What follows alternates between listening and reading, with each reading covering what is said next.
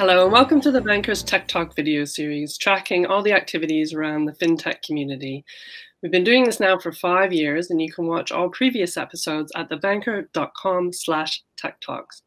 I'm Joy Macknight, Managing Editor of The Banker, and my guest this week is Sean Hunter, Chief Information Officer at OakNorth, which targets lending to small and medium-sized enterprises. Sean, thanks so much for joining me today. Thank you so much for having me. Okay, so how can you really uh, screen tens of thousands of applications at scale and at speed? Yeah, so this is the sort of heart of the platform. So our platform uses machine learning, data science plus credit analysis expertise, including you know unconventional and previously unavailable data sets to enhance the humans so that the platform does all of the necessary stuff to bring all the data together, provide various insights, etc. And the credit analysts can provide the last mile um, and so on.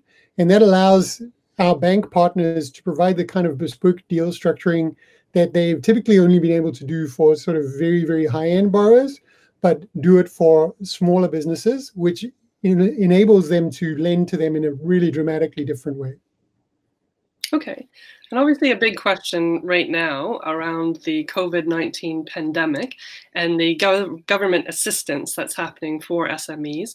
You know, how do you think banks can really use both the technology and their staff to help um, disperse this assistance much, uh, much more quickly, I guess, and much more effectively?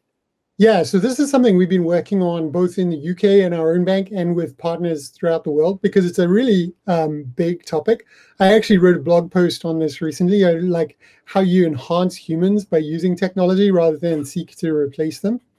Um, you know, when we talk to banks around the world, a lot of them have been really overwhelmed by the sheer scale of the challenge.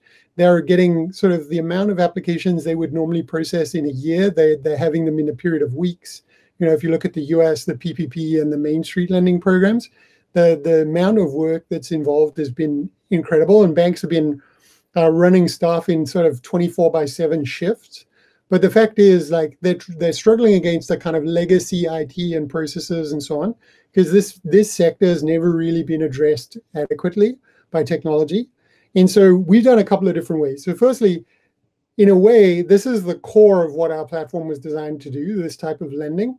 Um, and so we've just enhanced it a little bit for these programs, specifically to help with the document collection, pre-screening of borrowers to make sure that they're eligible for the program, and then forgiveness of these loans. Because in the PPP, although it's structured as a loan, it's ultimately forgiven if the loan meets certain criteria. Um, and so we've built the end-to-end process for handling that so that there the operational burden on the bank is much less. But it's important to realize that like the bank has to still be in, in charge of all the key decision making um, because ultimately they're the licensed entity. They have to do the risk management and so on. So so we can provide assistance by providing analysis, providing insight, you know, and so on. But they ultimately have to make all the decisions um, so that they're in control. Okay. Um, and I know OakNorth has developed this uh, COVID vulnerability um, rating framework. Can you tell us a little bit about that and also how it works? Yeah, it's kind of interesting because this is sort of the, the fruit of a lot of work we put into using data science to analyze businesses and understand credit, especially in the kind of small and and mid-market businesses. But it actually applies for all um, all businesses. So when the COVID crisis started back in January, in the bank, we first developed this framework to look through all of our borrowers, try to understand which ones were vulnerable, and then and and we look at two different things. The first is the ability to withstand the crisis, and then the second is the ability to reboot post-crisis. And what we actually, the stresses we actually apply vary depending on sector because we model businesses into 1600 uh, very granular subsectors and we build out these domain specific models which show how financial stresses um, work for different types of businesses. And so what we did in the uk we first did it with all of our borrowers. And back in january if you remember it was like a supply chain focused problem. Mm-hmm. so the whole key question was how exposed are you to china in your supply chain? Um, And then as the crisis evolved, it changed to be more of a demand focused problem because you're mainly looking at okay, when you've got a, an economy completely in lockdown and you've got a complete absence of demand in the economy, how does that affect businesses and their ability to withstand?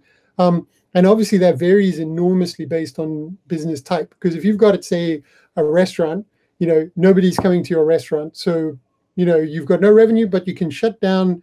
Uh, you can you can reduce furlough staff and so on, so you can shut down the cost side. But there are other kinds of businesses which they they're still carrying a lot of cost. They can't necessarily change that overnight, and so there's you know different responses. And so, having done it for our bank, we were then able to adapt it and use it in banks. Firstly, for other banks who are already using the platform, but then we've since uh, extended it so that some banks who are not yet OakNorth customers are able to use this framework on the basis of anonymized data um, to pre-screen and look for borrowers who have potential problems and so on. Excellent. Well, thanks so much for joining me, Sean, and thanks to our audience for listening.